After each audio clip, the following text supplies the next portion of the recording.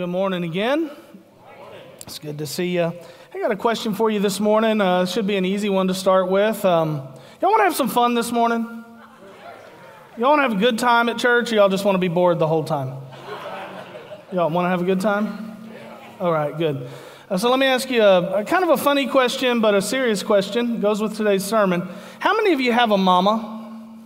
Raise your hand. Okay, good. Most of you. So, um, you know, some people are still asleep, but we'll, we'll get them. We'll get them before this is over. How many of you, um, how many of you remember the day you were born? Nobody? Okay, I don't, I don't remember either. I was going to ask you what it was like because I couldn't recall. You know, when, when you were born, um, we commonly say that, that, that, that you're delivered right? You've, you've heard that? I delivered the baby. Um, the, you know, how, however, it goes with a lot of different phrases. And, um, and that's really what happens, right? You move from the womb into the world. You're delivered. You're brought from where you were to where you are now. And for some of y'all, that was a long time ago. But for all of us, for every single one of us, there was a day we were delivered and then we commonly call that day our what? Birthday. How many of you remember your birthday? Raise your hand if you know your birthday. Because this is important. This is where the fun part starts. Y'all, are, y'all thought we were having fun already. Here's what we're going to do we're going to do a little exercise. In just a second, I want everybody to stand up. And I want you to find somebody, hopefully nearby you, who doesn't already know your birthday. And I want you to, so don't go to your husband or your, well, maybe he doesn't know, but maybe you need to remind him. But don't go to don't go to somebody you know, your kids or your mom or whatever.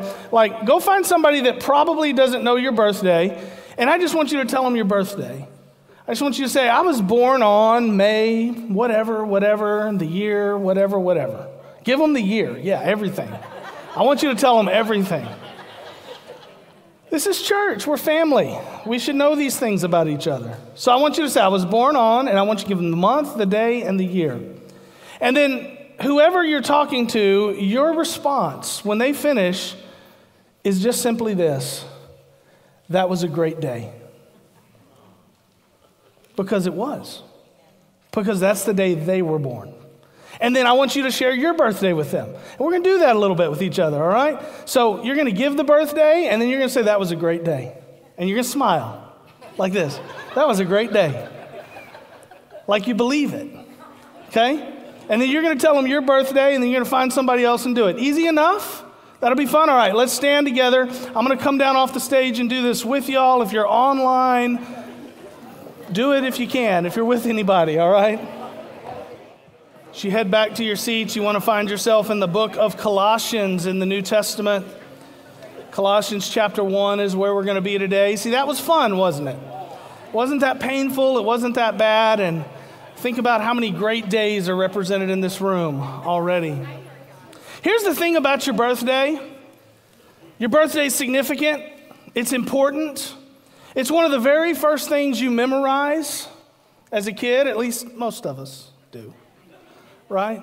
You can even ask little kids what their birthday is, and they'll, they'll be able to tell you. Or they'll be able to tell you how old they are, cause they're, or they'll be able to tell you when their next birthday is coming up, because they're looking forward to that day, because that's a great day when you're a little kid, when you have a birthday. But we mark time by our birthdays, because it's that significant in our life. Um, we're identified by our birthday. How many of you have ever been to the pharmacy to pick up a prescription? Okay? You go to the pharmacy to pick up a prescription, what do they say? What's your name and what's your birthday?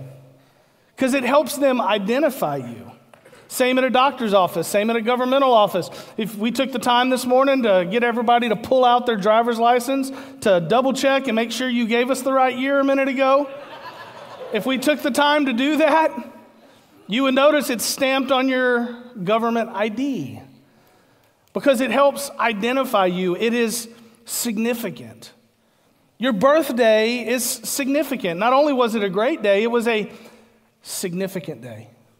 A significant day for you and a significant day for everybody around you. That was a significant day for your parents. It was a significant day for your siblings. It was a significant day for your friends, both then and now. It was a significant day even for this church that you would join decades, decades, and decades later because that's the day, the day you were delivered from the womb to the world, is the day it all started for you. Without that day, you wouldn't be here today, would you? It's significant. The day you were delivered into this world was one of the most significant days of your life. And here's what I want to submit to you this morning the day you were saved and delivered from this world is even more significant. Now, you won't find the date of your salvation stamped on your driver's license. They're not going to ask you for it when you go to the pharmacy to pick up your medicine or when you go to the doctor for a visit. But I'm telling you, that date is stamped in eternity. And it is the most significant day of your life, even more significant than your birthday. Because you were delivered on that day by the blood of Jesus for significance. Today we're going to look at Colossians 1 9 through 13 as our main text, but I want us to briefly look at verses 3 through 6 for some context of where Paul's coming from in the text we're going to look at today. Here's what he says in Colossians 1 3 through 6, he says, We always thank God, the Father, our Lord Jesus Christ, when we pray for you. For we have heard, he says, of your faith in Christ Jesus and of the love you have for all the saints because of the hope reserved for you in heaven.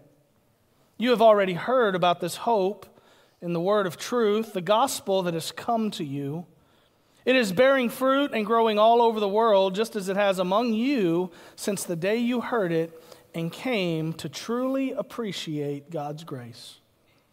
The day you were saved.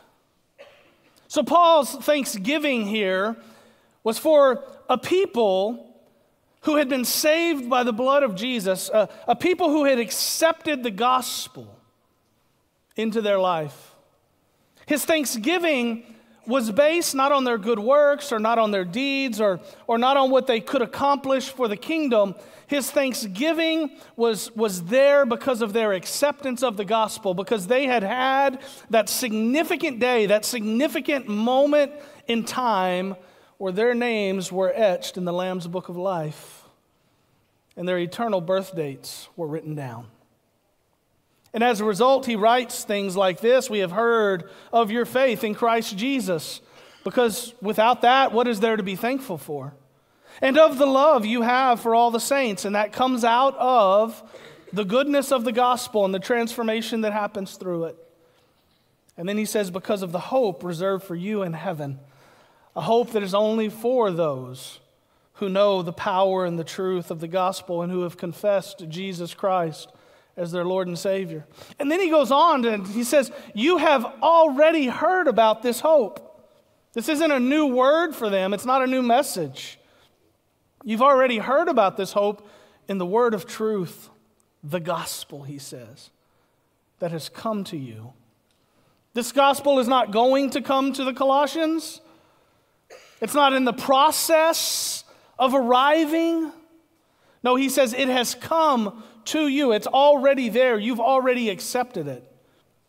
And they're doing something with it. They, they didn't just hear it and accept it and sit on it. No, they're, they're doing something with the gospel. He goes on and says it's bearing fruit and growing all over the world, just as it has among you since the day you heard it and come to truly appreciate God's grace. You see, the significance of their spiritual deliverance, their spiritual delivery, had nothing to do with them. The significance of it was the work of the gospel itself. It was the work of the cross, it was the work of Christ in their life. Now, jump down with me, if you will, to verse 9, where we pick up our main text for today. We're going to read 9 through 14, and we'll come back and we're going to see six significant things that we all need to know about our salvation. It says this For this reason also, since the day we heard this, we haven't stopped praying for you. We're asking that you may be filled with the knowledge of his will in all wisdom and spiritual understanding, so that you may walk worthy of the Lord, fully pleasing to him, bearing fruit in every good work, and growing in the knowledge of God, being strengthened with all power according to his glorious might, so that you may have great endurance and patience, joyfully giving thanks to the Father, who has enabled you to share in the saints' inheritance in the light. He has rescued us from the domain of darkness and transferred us into the kingdom of the Son he loves. In him we have redemption, the forgiveness of sins. There's six significant things I want to point out to you today. But the main idea, the big blank in different colors at the top of your bulletin says this your deliverance is significant. You need to remember and recall as we walk through these six things that the fact that God has delivered you is significant.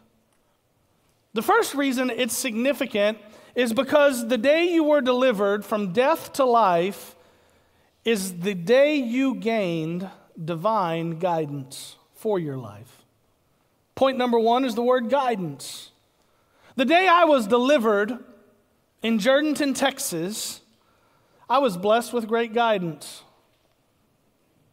I, it wasn't the nuns, y'all, who ran the hospital at that time who gave me the great guidance as a baby. I'm sure they were great people. But I was blessed with great parents who became my guides for life. Amen? I was blessed with some great grandparents who became guides for my life. I was blessed at that moment, not even knowing it. I was like the rest of y'all, all gooey and slimy and crying and ready to go to sleep. But I was blessed in that moment with aunts and uncles that I didn't even know yet who would become great guides for my life. And others that would become my teachers and my friends and my peers and my mentors who I, I didn't even know were going to come into my life. But, but I was blessed right then and right there with some great guides for my life. I didn't ask for these guides. I didn't work for these guides. I, I didn't pay them to be my guides. They were given to me on the day I was brought into this world. They were given to me as a gift from God on the day I was delivered from the womb to the world. Now, I realize when it comes to the human guides that we are given, some of us receive great guides and great guidance. I was fortunate to be one of those. But I know some of you didn't. Some of you were born into situations where you didn't have good guides. Some of you maybe were born into a situation where you didn't feel like you had any guide at all. Not everybody has great parents. Not everybody is blessed with a great family or great friends to guide them in those formative years of our life. But our spiritual deliverance, our spiritual delivery is different.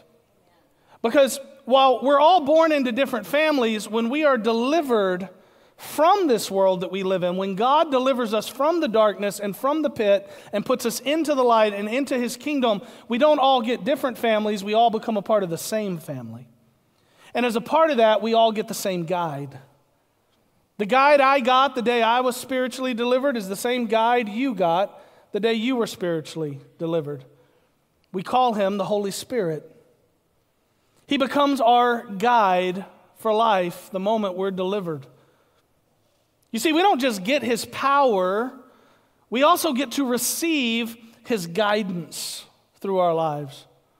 In Colossians chapter 1 verse 9, Paul doesn't mention him by name, but here's what he says and what he's getting at. He says, For this reason, also, since the day I heard this, we haven't stopped praying for you. We're asking that you may be filled he says, We're asking that you may be filled with the knowledge of His will in all wisdom and spiritual understanding, so that you may walk a life that is worthy of the Lord. Right? And then he goes on to say, bearing fruit in every good work and growing in the knowledge of God. How, how do we grow in the knowledge of God? How do we get filled with the knowledge of God? How do we get that guidance? Paul doesn't specifically here mention the Holy Spirit, but he's certainly pointing to the work of the Spirit in our lives. Because this doesn't happen without the Spirit's work in our lives. In Acts chapter 2, verse 38, we learn that the Holy Spirit enters into a person's life on the day they're delivered from their sins into salvation. In Acts 2 38 through 39, it says, Peter replied, Repent and be baptized, each of you, in the name of Jesus Christ for the forgiveness of your sins. And he says, And you will receive the gift of the Holy Spirit. For the promise is for you and for your children and for all who are far off, as many as the Lord God will call. At that moment, we all get the same gift. We all get the same guide. We all are invaded by the Holy Spirit. And He becomes the guidance we all need and the guidance we want. Not the guidance we'll always listen to, but the guidance is there for all of us. It's the same for me and the same for you. In Ephesians, Paul wrote this in chapter 1, verses 13 through 14. He says, In him you also were sealed with the promised Holy Spirit when you heard the word of truth, the gospel of your salvation. He says, When you were delivered, when you came to know Jesus, when you were saved, you were sealed with the Holy Spirit. With the gospel of your salvation, with the deliverance of that, you're sealed. And then he says, and when you believed. He, I mean, you can't miss this. He says, when you believe, when you confess, when you're delivered from your sins, the Holy Spirit comes into your life. And he says, the Holy Spirit is the down payment of our inheritance until the redemption of the possession to the praise of his glory. The Holy Spirit of God arrives and takes up residence in your life on the day you're delivered from your sin. Not on the day you're delivered from the womb to the world, but on the day you are delivered from the world to the kingdom of God. That's when the Holy Spirit comes and invades your life and seals you up for the day of salvation. Here's just one of the things Jesus himself said about the Holy Spirit in John 14 26. He says, But the counselor, the Holy Spirit, whom the Father will send in my name, will teach you all things and remind you of everything I've told you. He's going to guide you. He's going to be your counselor. The Holy Spirit is many times in scriptures referred to as a counselor or a teacher. The Holy Spirit is God's gift to you, sent to you to be your guide through this difficult journey we call life. Your deliverance is significant because the Holy Spirit comes into your life the day you're delivered. And we could all use the Holy Spirit, amen? I don't know what I'd do without Him.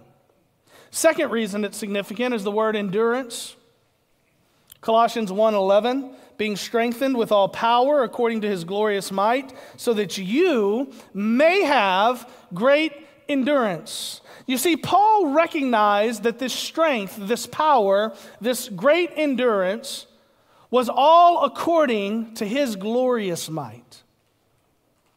You see, when you were delivered from your sin, into salvation, when you were delivered from your sin, you were born again, when you were adopted into the kingdom of God in that moment, on that day, at that time, by the King Himself, the King of Kings and the Lord of Lords, that's a significant day.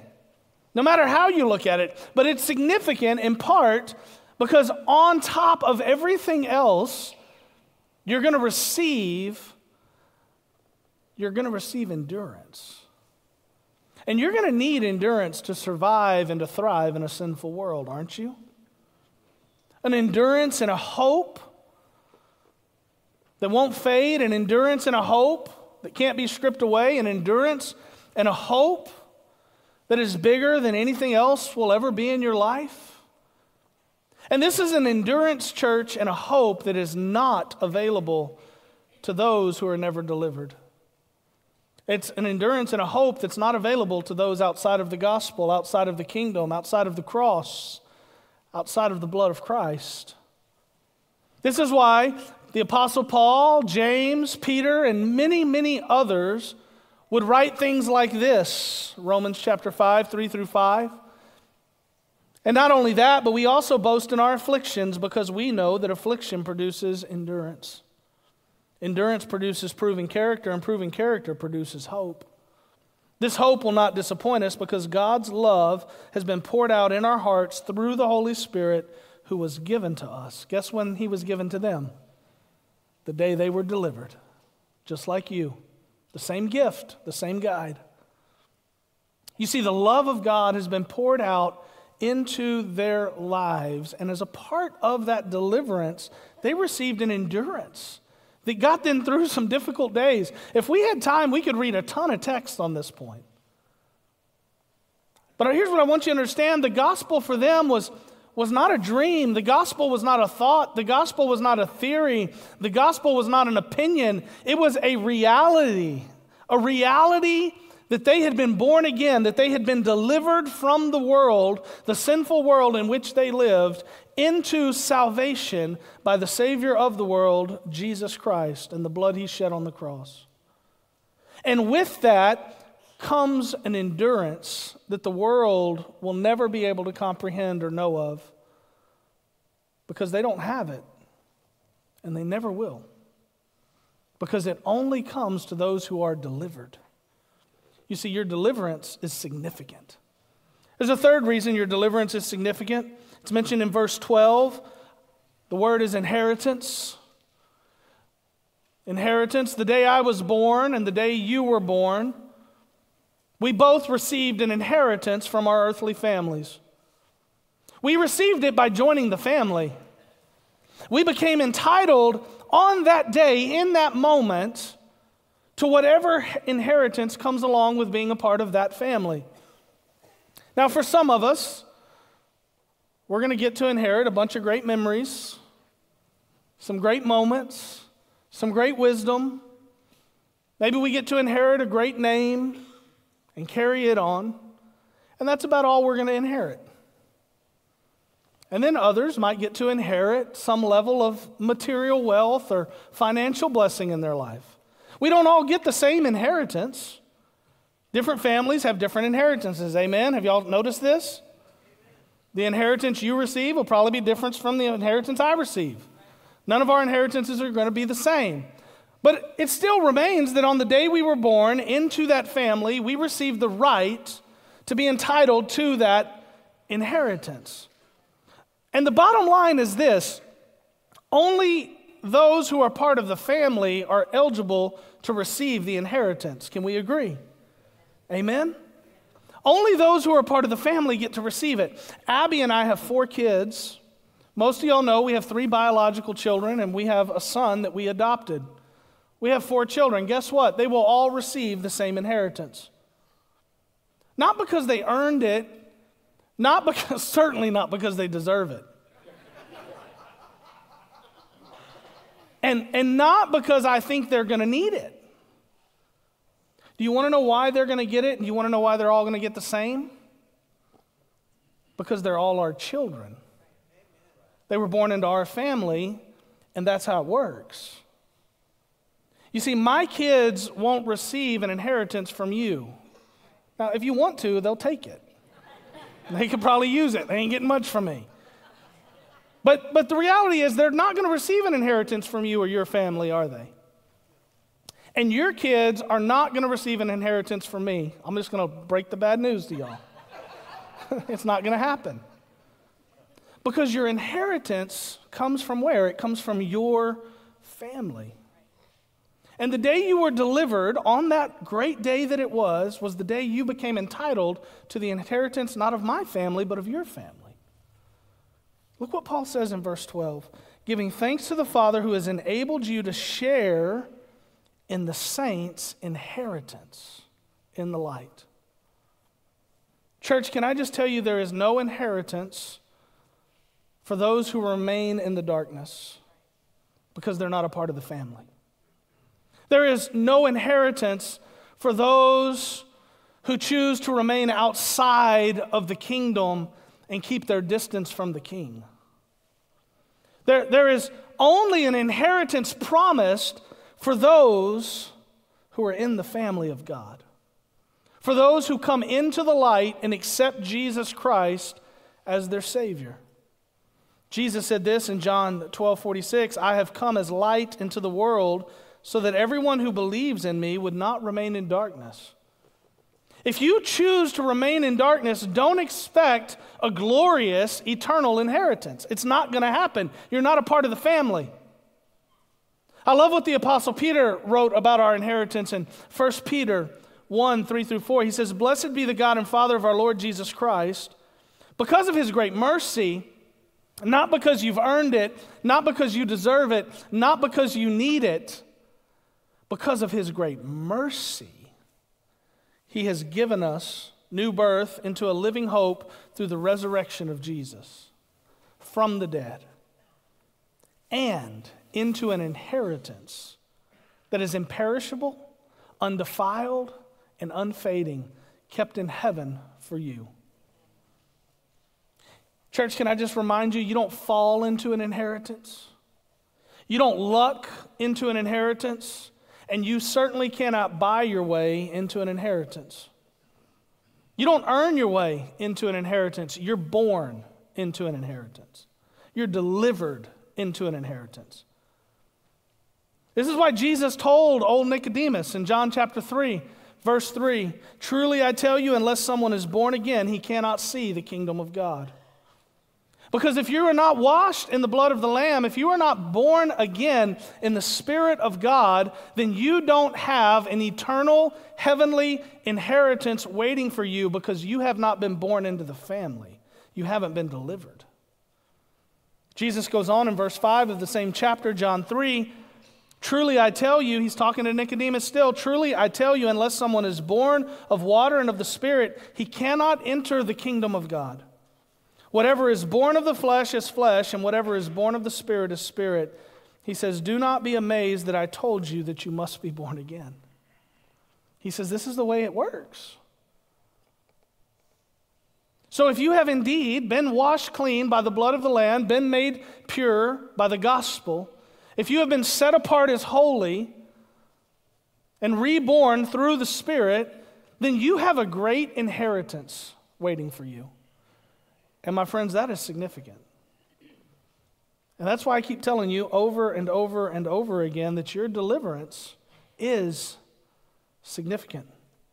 Next, look at verse 13, where we see our fourth point for today. It is indeed the word deliverance. Colossians 1:13, he says he has rescued us from the domain of darkness. I want to camp here for just a moment. The Greek word here is important several Greek words in this text that are very important, but the word for rescued is important. The word for rescued can, can mean delivered, it can also mean, mean to be drawn to and saved. But most literally and most often, it is translated with the word rescued. That's the most literal translation. It's a great translation. But I want you to understand that the idea in the Greek is, is not not just that you're rescued from something, but that God rescued you for something. He didn't just rescue you from the world, He rescued you for a purpose. He drew you out of the darkness not just for the sake of getting you out of the dark. He pulled you out of the pit not just for the sake of getting you out of the pit. He rescued you from your sin not, not just for the sake of rescuing you. He drew you unto himself because he had a plan and a purpose for your life. He didn't just rescue you from it, he rescued you for it. He drew you to himself for a purpose. And this great rescue is what everybody is need of, in need of from the moment they're delivered from their, mo- their, their mother's womb into this world. From the moment we are delivered from the womb into the world, we are in need of this rescue because we're all sinners from that moment we're born. And thus, we're all in need of a sinless Savior to rescue us from our sin. One commentator said it like this He said, God drew us out of Satan's kingdom to himself, and that event was the new birth. We are not gradually or progressively delivered from Satan's power. When we placed our faith in Christ, we were instantly delivered. This is why the Bible says things like this in 2 Corinthians 5 17 through 19. Therefore, if anyone is in Christ, he is a new creation. The old has passed away, and see, the new has come. Everything is from God, who has reconciled us to himself through Christ and has given us the ministry of reconciliation. That is, in Christ, God was reconciling the world to himself, not counting their trespasses against them, and he has committed the message of reconciliation to us. You see, when the gospel rescues us, the job is done, it's finished. When God draws us unto himself and pulls us into the light and out of the pit, it's done. You've been rescued. It's why he says in verse 13, He has rescued us from the domain of darkness. It doesn't say He's in the process of rescuing us. He doesn't say he's going to come and rescue us someday in the future. He says he has rescued us. The job is done. He has drawn us to himself out of the darkness into the light, out of the pit into the kingdom out of the pit into the promise. And then we find another Greek word here at the end of this text that is so helpful and so important. It's the word for domain. The word translated in your Bible and mine is, is domain. And, and what it really means is, is jurisdiction, it means authority.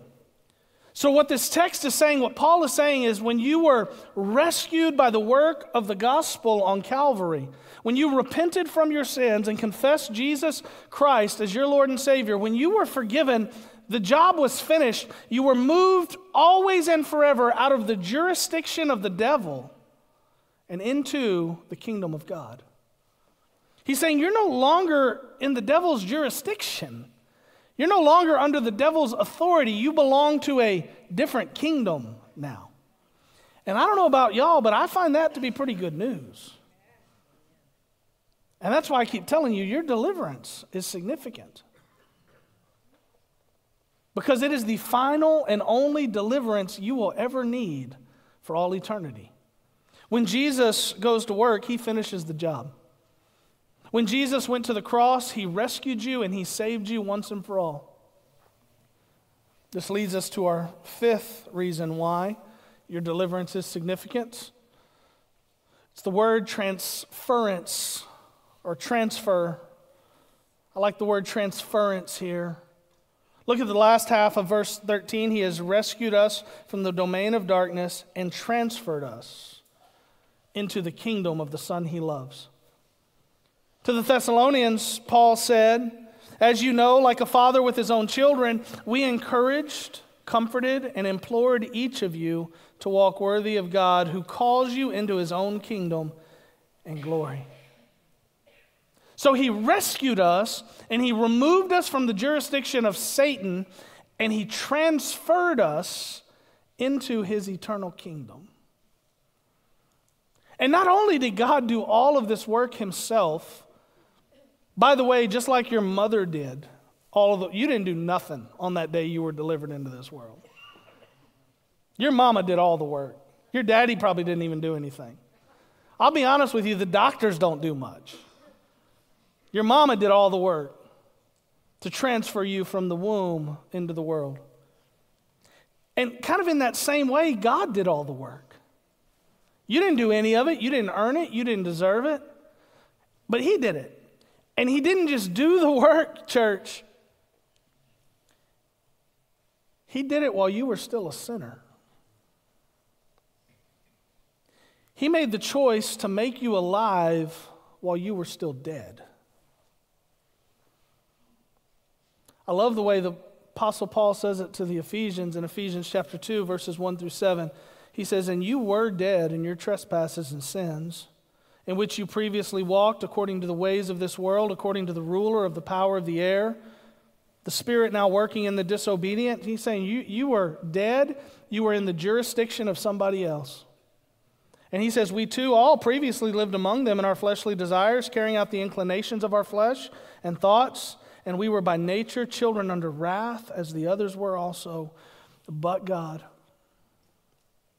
despite all of that,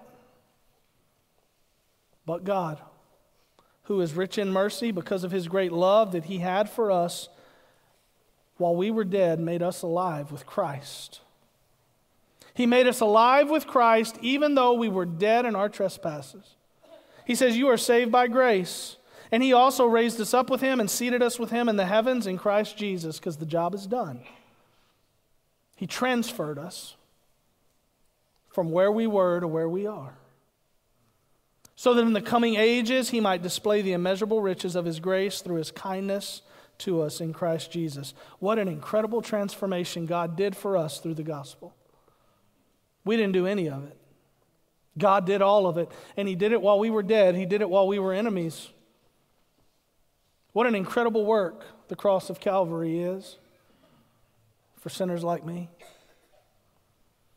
And to think I can be transformed and transferred into an eternal kingdom of God all by the work of the cross. Yeah, there's power in the blood. And your deliverance is significant. I want to close with this last one. This is number six. I told you we'd make it happen and get it done. Look at this, number six. It's the word assurance. You see, our deliverance is significant because it brings an assurance into our life that we can always hold on to. This is not a temporary deliverance, it's a permanent deliverance. Just like on that great day you were delivered into this world, that was pretty permanent, wasn't it? There's no going back to the way it was before. When you're born, you're here. When you're born, it's permanent. Can I just tell you this? When you're born again, when you're delivered from your sins, you can have the assurance that it is just as permanent. There's no going back. Look at verse 14. In him we have redemption, the forgiveness of sins.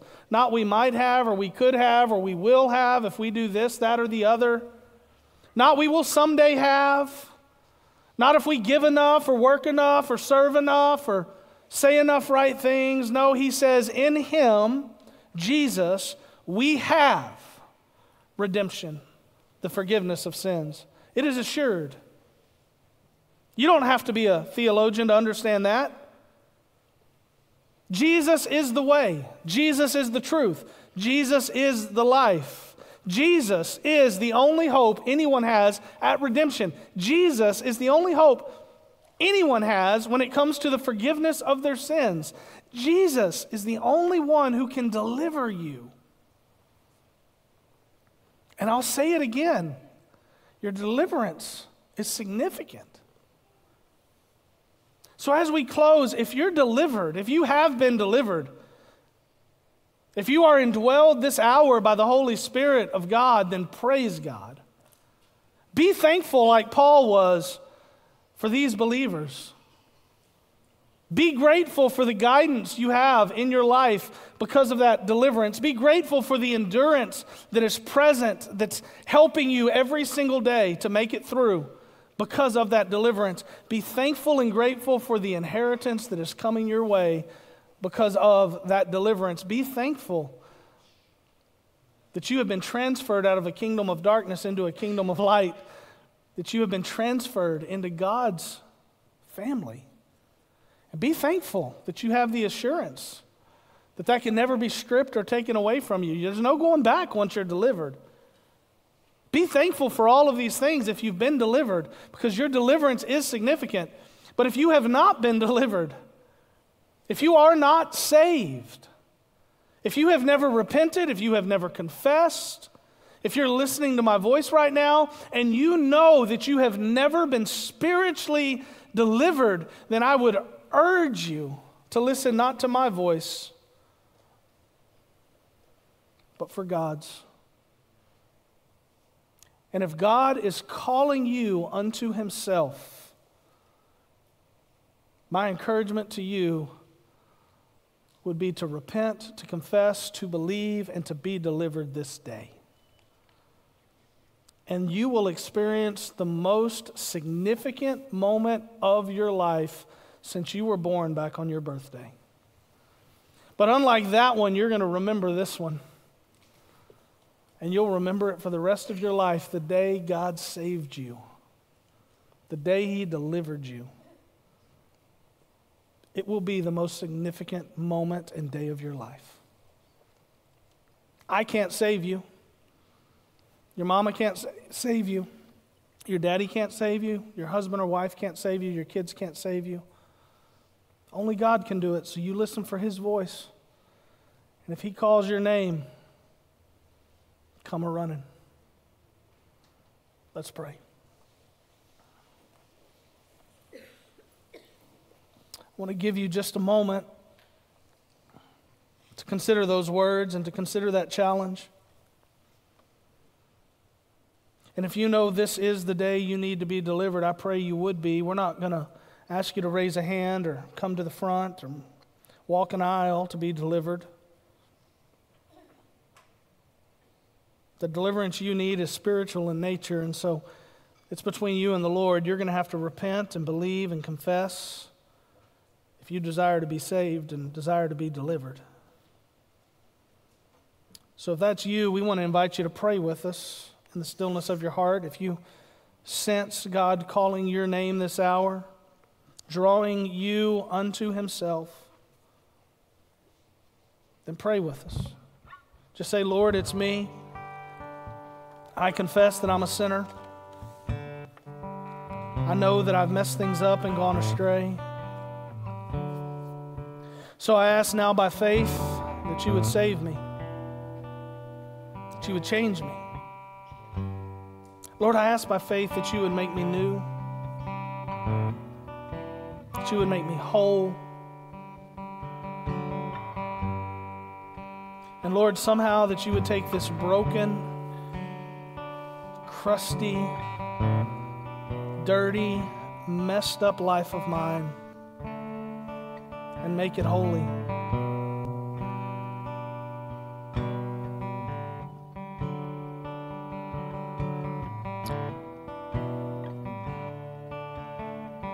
Lord, I thank you for your love and your grace and your mercy and for calling my name today.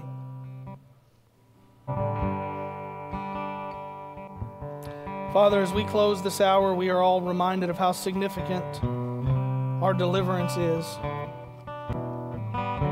How significant it was, even if it was decades ago, it is no less significant this hour than it was the moment we first believed.